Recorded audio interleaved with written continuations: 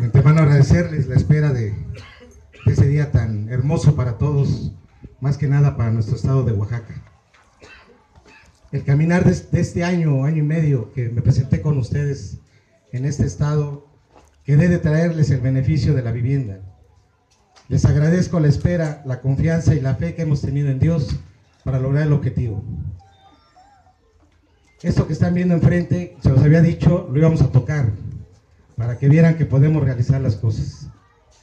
Este es un nuevo México que vamos a iniciar con esta nueva asociación que estoy representando y que con ustedes vamos a lograr todo lo demás que tengo en Oaxaca y en los demás estados de la República.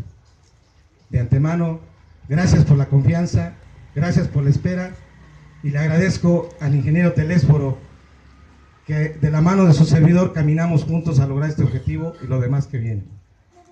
También les presento a la matriz de las constructoras a nivel nacional, el ingeniero del Carpio, ya conocen a la licenciada Irma Morales, que es la secretaria general, a don Néstor Mendoza, que es mi secretario de vivienda, y tenemos a don Julio, que es este, personal de, de la misma asociación.